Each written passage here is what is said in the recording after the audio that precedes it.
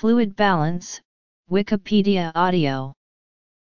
Fluid balance is an aspect of the homeostasis of organisms in which the amount of water in the organism needs to be controlled, via osmoregulation and behavior, such that the concentrations of electrolytes in the various body fluids are kept within healthy ranges. The core principle of fluid balance is that the amount of water lost from the body must equal the amount of water taken in, for example, in humans, the output must equal the input. Euvolemia is the state of normal body fluid volume, including blood volume, interstitial fluid volume, and intracellular fluid volume, hypovolemia and hypervolemia are imbalances. Water is necessary for all life on Earth. Humans can survive for 4 to 6 weeks without food but only for a few days without water. Profuse sweating can increase the need for electrolyte replacement. Water electrolyte imbalance produces headache and fatigue if mild, illness if moderate, and sometimes even death if severe. For example, water intoxication, the process of consuming too much water too quickly, can be fatal. Deficits to body water result in volume contraction and dehydration. Diarrhea is a threat to both body water volume and electrolyte levels, which is why diseases that cause diarrhea are great threats to fluid balance. The amount of water varies with the individual, as it depends on the condition of the subject, the amount of physical exercise, and on the environmental temperature and humidity. In the U.S., the reference daily intake for water is 3.7 liters per day for human males older than 18, and 2.7 L/day for human females older than 18 including water contained in food, beverages, and drinking water. The common misconception that everyone should drink 2 liters of water per day is not supported by scientific research. Various reviews of all the scientific literature on the topic performed in 2002 and 2008 could not find any solid scientific evidence that recommended drinking 8 glasses of water per day. For example, people in hotter climates will require greater water intake than those in cooler climates. An individual's thirst provides a better guide for how much water they require rather than a specific, fixed number.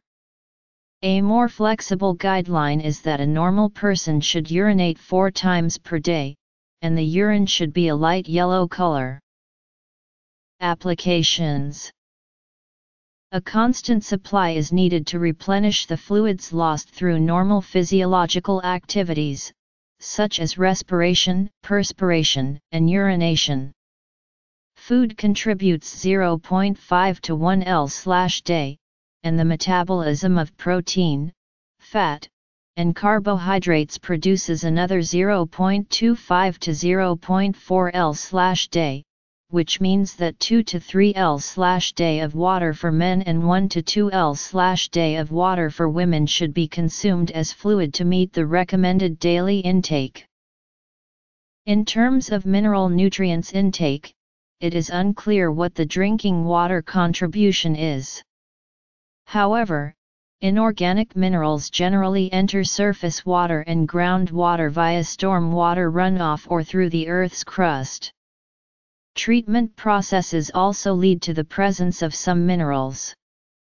Examples include calcium, zinc, manganese, phosphate, fluoride, and sodium compounds. Water generated from the biochemical metabolism of nutrients provides a significant proportion of the daily water requirements for some arthropods and desert animals, but provides only a small fraction of a human's necessary intake. If fluid loss is greater than fluid gain, the patient is said to be in negative fluid balance. In this case, fluid is often given intravenously to compensate for the loss, on the other hand, a positive fluid balance might suggest a problem with either the renal or cardiovascular system. There are a variety of trace elements present in virtually all potable water, some of which play a role in metabolism. For example, sodium, potassium, and chloride are common chemicals found in small amounts in most waters, and these elements play a role in body metabolism. Other elements such as fluoride, while arguably beneficial in low concentrations, can cause dental problems and other issues when present at high levels. Water is essential for the growth and maintenance of our bodies, as it is involved in a number of biological processes. When a person is ill, fluid may also be lost through vomiting, diarrhea, and hemorrhage. An individual is at an increased risk of dehydration in these instances, as the kidneys will find it more difficult to match fluid loss by reducing urine output. Oral rehydration therapy, is type of fluid replacement used as a treatment for dehydration. In an acute hospital setting, fluid balance is monitored carefully. This provides information on the patient's state of hydration, renal function, and cardiovascular function. If blood pressure is low, the filtration rate in the kidneys will lessen, causing less fluid reabsorption and thus less urine output. An accurate measure of fluid balance is therefore an important diagnostic tool, and allows for prompt intervention to correct the imbalance. If the body is becoming fluid deficient, there will be an increase in the secretion of these hormones, causing fluid to be retained by the kidneys and urine output to be reduced. Conversely, if fluid levels are excessive, secretion of these hormones is suppressed, resulting in less retention of fluid by the kidneys and a subsequent increase in the volume of urine produced. Fluid can leave the body in many ways. Fluid can enter the body as preformed water, ingested food, and drink and to a lesser extent as metabolic water which is produced as a byproduct of aerobic respiration and dehydration synthesis. A constant supply is needed to replenish the fluids lost through normal physiological activities, such as respiration, sweating and urination. Water generated from the biochemical metabolism of nutrients provides a significant proportion of the daily water requirements for some arthropods and desert animals, but provides only a small fraction of a human's necessary intake. Extracellular fluid Water consumption In the normal resting state, input of water through ingested fluids is approximately 1200 ml/day, from ingested foods 1000 ml/day and from aerobic respiration 300 ml/day, totaling 2500 ml/day. Input of water is regulated mainly through ingested fluids, which, in turn, depends on thirst. An insufficiency of water results in an increased osmolarity in the extracellular fluid. This is sensed by osmoreceptors in the organum vasculosum of the lamina terminalis, which trigger thirst. Thirst can to some degree be voluntarily resisted, as during fluid restriction. The human kidneys will normally adjust to varying levels of water intake. The kidneys will require time to adjust to the new water intake level. This can cause someone who drinks a lot of water to become dehydrated more easily than someone who routinely drinks less. These outputs are in balance with the input of 2500 ml/day. The body's homeostatic control mechanisms, which maintain a constant internal environment, ensure that a balance between fluid gain and fluid loss is maintained. The antidiuretic hormones vasopressin and aldosterone play a major role in this.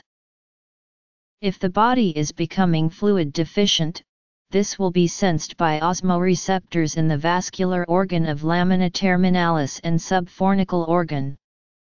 These areas project to the supraoptic nucleus and paraventricular nucleus, which contain neurons that secrete the antidiuretic hormone, vasopressin, from their nerve endings in the posterior pituitary. Thus, there will be an increase in the secretion of antidiuretic hormone, causing fluid to be retained by the kidneys and urine output to be reduced. A fluid insufficiency causes a decreased perfusion of the juxtaglomerular apparatus in the kidneys. This activates the renin-angiotensin system.